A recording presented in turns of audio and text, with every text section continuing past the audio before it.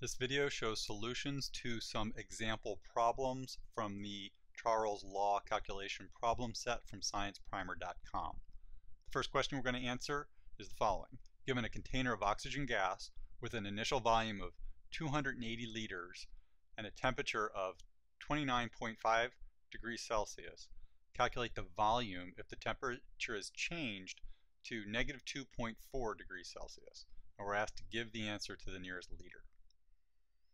So this is a question that involves Charles' law.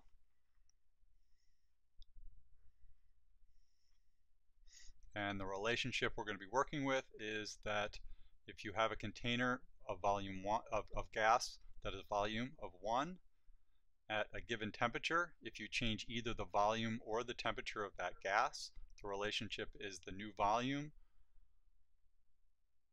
divided by the new temperature will equal the, the initial volume divided by the initial temperature. So this is the relationship. These problems are no more difficult than some of the other problems, uh, fairly straightforward algebra, but there are a number of steps and it's easy to go wrong. So the way I'm going to suggest these problems be solved is to use the following recipe and I'm going to suggest five steps for solving this problem.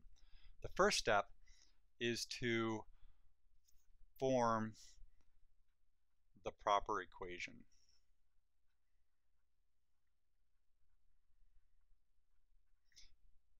And this depends upon which of these variables you're trying to find. You basically need to isolate the variable you're trying to solve for.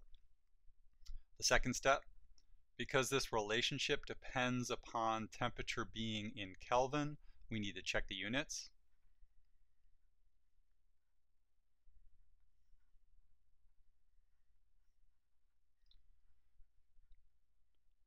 Units to make sure they're in Kelvin. And then three, once we have the proper units and the proper form of the, form of the equation, we'll plug in the numbers.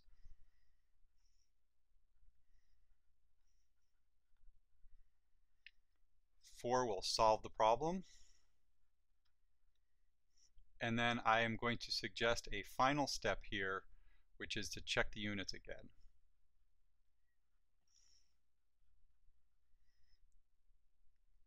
Particularly temperature. All right. So, again, I mentioned we need to check temperature because temperature units need, need to be in Kelvin for this relationship to hold. And you'll often have temperature in a unit other than Kelvin. In this case, we're in degrees C. So the relationship we need to do the second and fifth step in case we need to convert from Celsius to Kelvin is that the temperature unit Kelvin equals a number in degrees C plus 273.15. And so it's just the simple relationship. So if you have something in degrees C, you need Kelvin, just add 273.15. If you need to go the other way, if you rearrange this equation, you see that uh, Celsius is Kelvin minus 273.15. So let me clear the screen, start focusing on this problem because I just put up a bunch of information, I'm going to bring that information back as the stuff we're going to need to follow to solve this problem. So now first step here, we're on first step, we need to form the equation. Let's look at what we're trying to find here. What we're given here is we have a, uh, an oxygen gas with an initial volume of 28, 280 liters. So this is an initial volume, so that's V1, and an initial temperature of 29.5 degrees Celsius, so that's going to be T1 we need to calculate the volume. So we have a new volume, V2, if the temperature is changed to negative 2.4 degrees C. So this is T2. So we are given T2, T1, and V1, and we're asked to find V2. So what we want to do is rearrange this equation to isolate V2. And in this case, what we want to do is bring this T2 over to the other side of the equation, and this is done by multiplying both sides by T2. T2's cancel over here, and you end up with T2 over here. And to rewrite this equation, we end up with the form of the equation we want. V2 equals T2 V1 over T1. So we've done the first. Next, we need to check the temperature units. We're given two temperatures. We're given T1, which is 29.5 degrees C, and T2, which is negative 2.4 degrees C. Both of these are in degrees C. We need Kelvin, so we need to add 273.15 to both of them.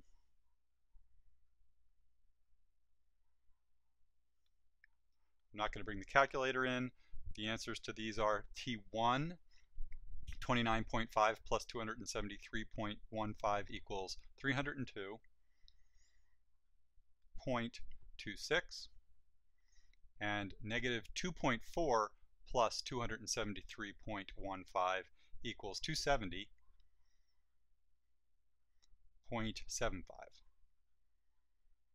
So this is the information we need for step two. So now we have the, the temperature and the proper units.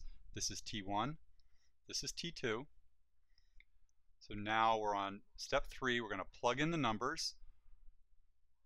V2 equals T2, 270.75 Kelvin,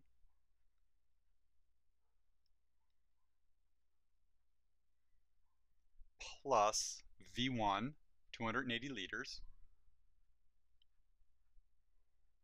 divided by T1, which is 302.26 Kelvin.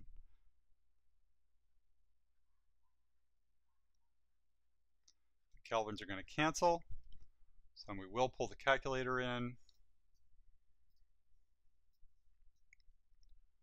270.75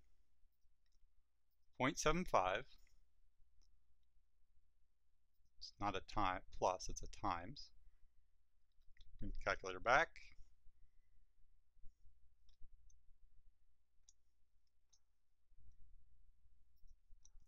Two seventy point five times two eighty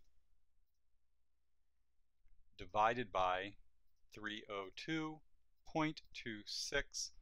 The answer we get is two hundred and fifty point eight. Since we're asked to find the answer to the nearest liter, we'll round to 251. And let's just check. Can't, the, the, the kelvins are canceling here. We end up with liters. So the answer to this problem is 251 liters. So we solve the problem and now we check units again and since we're asked to find liters and we have liters we can check off step 5. Of course the other way to answer this question, be asked this question is to give two volumes in one temperature and be asked to find the other temperature. So let's go ahead and do that. I'll leave this information up, uh, the same information we used to solve the first problem, and bring in a second question. Similar format, different numbers. This time we're asked, given a container of helium gas with an initial volume of 448 liters, so we have V1 of 448 and a temperature of 46.7 degrees C, so this is our T1. Calculate the temperature, so we're being asked to find T2. If the volume is changed to 499 liters, so now this is V2. In the interest of time, I'm not going to go through the full rearrangement. It's uh, the, the, the same steps we did before, but because the T2, the thing we're trying to find is in the denominator, we actually have to go through several steps to get this into the right process. So I'll talk through it, but I'm not going to write all the steps. First thing we want to do is we want to get this T2 out of the denominator. So I'm going to multiply both sides by T2. These T2s will cancel I'll end up with T2 times V1 over T1 equals V2. Notice this is the form of the equation we used to solve the previous problem. Now we want to isolate T2. I'm going to do that by multiplying both sides by T1. If I do that, I put a T1 here and a T1 here. These T1s cancel and I now have T2 V1 equals V2 T1. And now I just need to get rid of this V1, divide both sides by V1.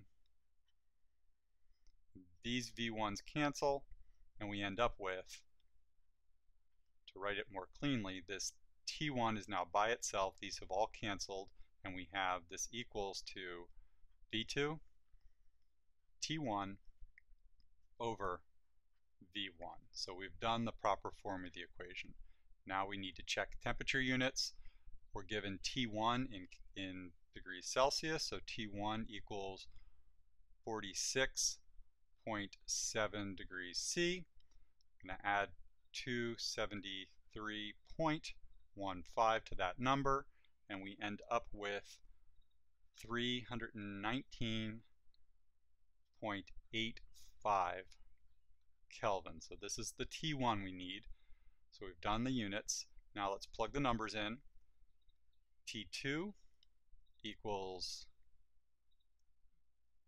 V2, 499 liters, 499 liters, times, write it properly this time, T1, 319.85, 19.85 degrees Kelvin divided by V1, which is 448 liters. So we have 448 liters.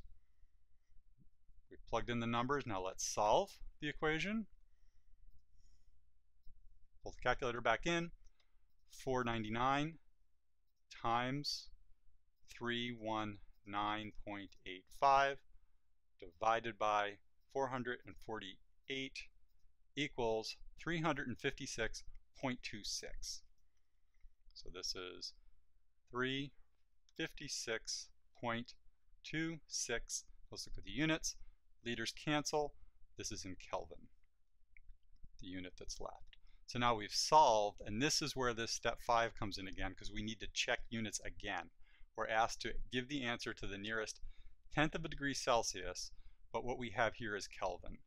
And what I said earlier was that to go from Celsius to Kelvin, we add 273.15. If we have Kelvin, we can subtract 273.15 to give us degrees Celsius. So let's go ahead and just subtract 273.15 from this number. And I will use the calculator for this calculation, pull it in. We have the 356.26 in there. Go ahead and just subtract 273.15. The answer we get is 83.1. So it's 83.1, and with this relationship, we're now in degrees C. So to the nearest tenth of a degree C, the answer to this problem is 83.1 degrees C.